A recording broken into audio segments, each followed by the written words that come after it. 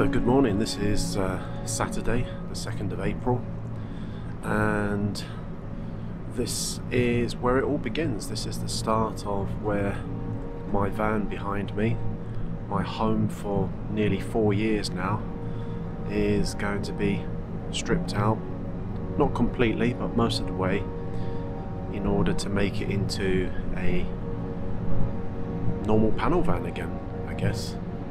And um, this is the start of the journey. This is where it all begins. Our mission to go across Europe to the Ukraine border, delivering animal aid and supplies, and then hopefully spending some days on the ground volunteering our services looking after animals. So, this is where it all starts. How do we transform a house of nearly four years into a vehicle that can be transporting aid to all the moggies and doggies of the Ukraine. Well, let's have a look and see how we do this, shall we? So here he is, everybody knows Neo, or maybe not everybody knows Neo. A 2008 Iveco Daily, three and a half ton long wheelbase. It's the 2.3 litre 120 brake horsepower.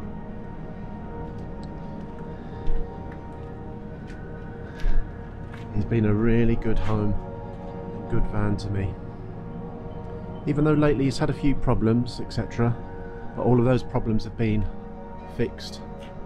So let's have a peek inside and see how we're going to transform him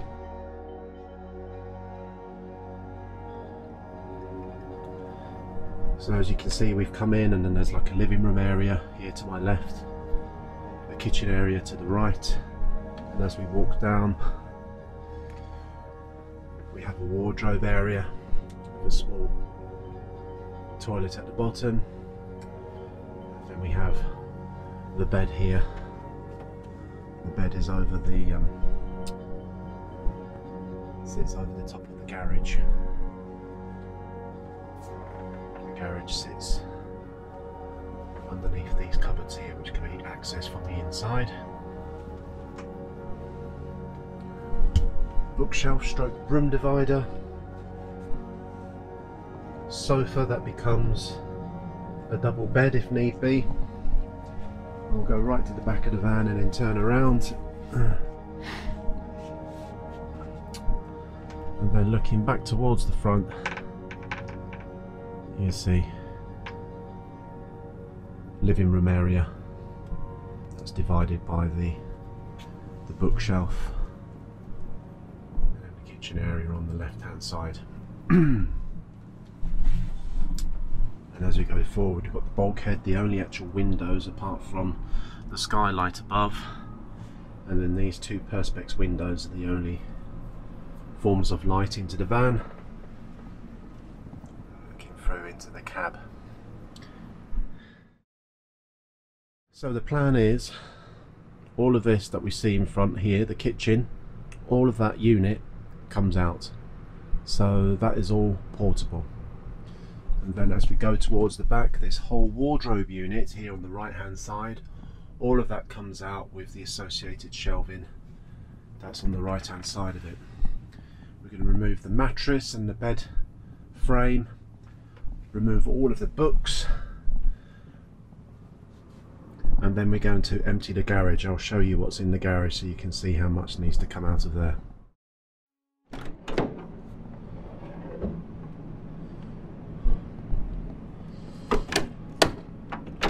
So here we are.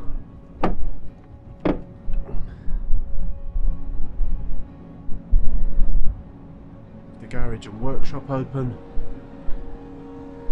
going to remove everything out of there. Bike all of my spare tools camping gear etc etc keep the spare tyre in. We'll keep the jack in.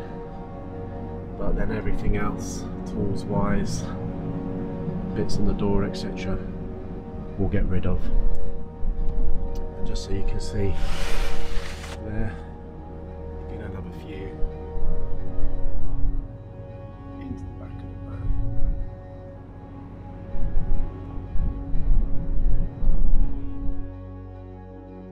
So that's the task. Uh, get as much out of the van as possible to make it as light as possible to travel. The only thing that will remain in there will be the sofa and the bookshelf, mainly because um, the central heating system, the diesel heater, all the pipes run through all of that, and I don't particularly want to take any of that out. Um, and I also want the heater to work uh, so that we do actually have some heat in the back of the van for when we get to the other end. Because the um, sofa turns into a bed as well, so it gives us an, an additional space to sleep if need be. And um, so I won't be taking any of that apart, but everything down the left hand side of the van inside will all be coming out, and everything in the garage and the tool shed will, will come out and everything. So this is where it all begins, and uh, we'll see how much we can get stripped out today and how empty we can get it ready for the pickups from the various places around Yorkshire tomorrow. We're going to take everything out of the van and then basically we'll bring it into the workshop, just store it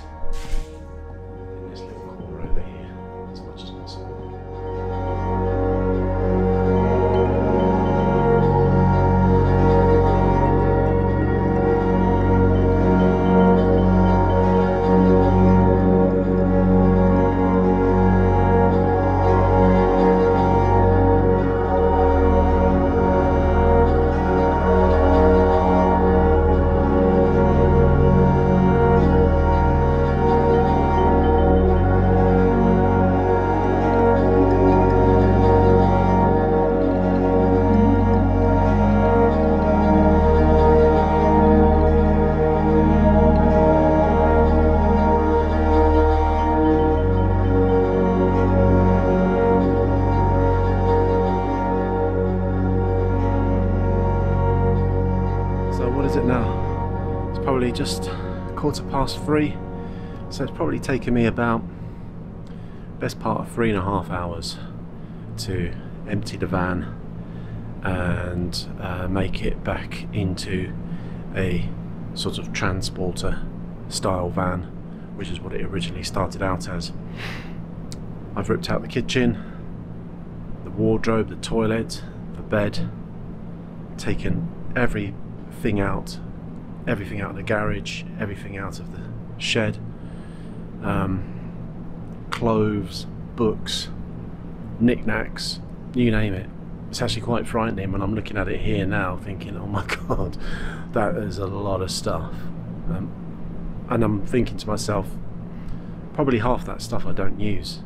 So um, yeah, it's quite frightening, really. But anyway, let's uh, take you into the van and you can see how empty it is. So now obviously with the kitchen gone, we've now got the whole of the side cargo door open. The uh, sponge and thing are off the uh, sofa. I'll probably still take those anyway because I might need a bed where we're going. But yeah, you can now see without the kitchen in, without the cupboard,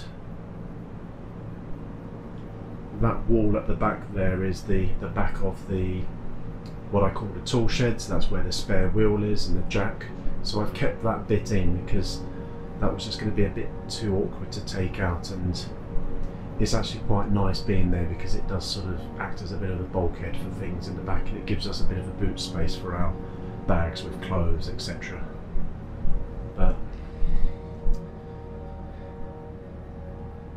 places to put things down on the floor. Can put things on the sofa. We can stack things up. So I can still get in and out of the cab through the um, partition sliding door there. Cables taped up to be out of the way. Lights are still working heater still works etc double check that it does. Yep. And then we'll walk around the back.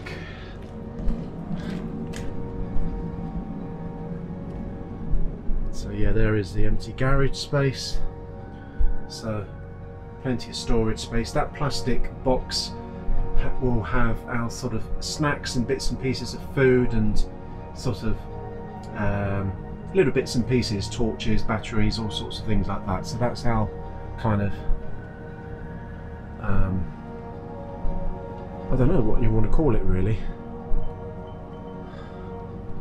Zombie, zombie cupboard, and that's the framework of the bed all totally empty. So all of this we can put stuff, boxes and bits and pieces on top of here. Cleared out the tool shed area so we can put our bags and bits and pieces into this space. Spare is there, jack is there, etc.